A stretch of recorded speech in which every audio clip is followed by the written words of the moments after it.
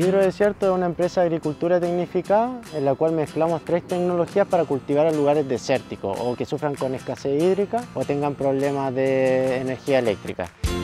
Lo que buscamos es a través de la hidroponía, la suma de la energía solar más eh, la condensación del aire para obtener el agua, cultivamos logrando que nuestros productos crezcan en menos tiempo, con menos consumo y crezcan mucho más rápido.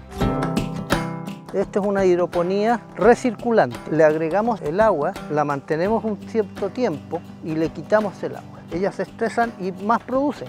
Sacan el agua del aire, lo purifican y lo, ocupan para alimentar a, las plantas que tienen ahí en el invernadero.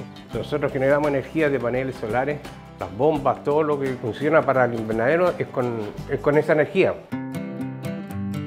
Para nosotros la pandemia realmente no nos afectó a nosotros principalmente nos dio la oportunidad porque hoy en día todo se vende a través de las redes sociales y fue mucho más fácil empezar a distribuir nuestros productos.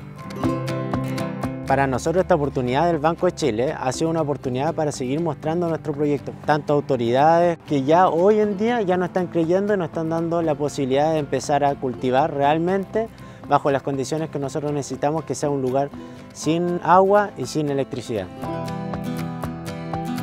se pueden hacer cosas cuidando los recursos naturales y logrando desarrollar una agricultura totalmente limpia, sana, que es lo, lo principal de que se trata para mí esta cultura de hidrodesierto.